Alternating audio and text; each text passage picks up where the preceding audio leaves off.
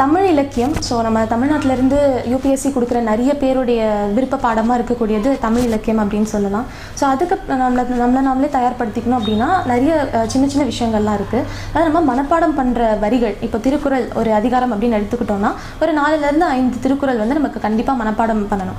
So இது வந்து நம்ம ப்ரிலிம்ஸ் கொடுக்கறதுக்கு முன்ன ப்ரிலிம்ஸ் கொடுக்கறதுக்கு முன்னாடியே நமக்கு நேரம் இருக்குது அப்படின்னு சொன்னால் நம்ம தினமும் காலையில் எழுந்து ஒரு இரண்டு பாடல்கள் ஒரு இரண்டு அதிகாரங்களாவது நம்ம மனப்பாடம் பண்ணணும். அப்படிங்கிற அந்த முனைப்பு வந்து நமக்கு எப்போவுமே இருக்கணும்.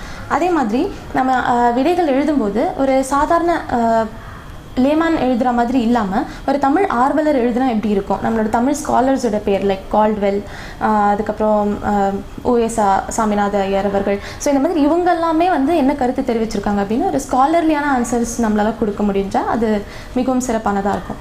தேர்ட் வந்து பார்த்திங்கன்னா நம்மளோட நடை. ஸோ நம்ம இதுதான் என்று சொல்லப்படும் இதுதான் ஆகும். இந்த மாதிரிலாம் எழுதாமல் நமக்கு நாமே ஒரு நல்ல ஒரு ஸ்டைலை வந்து நம்ம ரெடி பண்ணிக்கணும். நடை. அந்த எழுத்துலேயே வந்து நம்ம அந்த டிஃப்ரென்ஸ் வந்து காமிக்க முடிஞ்சால் எழுதுகிற மிச்ச ஆஸ்பிரன்ஸ்க்கும் நமக்கு ஒரு யூனிக்னஸ் கிடைக்கும். மார்க்ஸும் நம்ம அதிகமாக ஸ்கோர் பண்ணலாம்.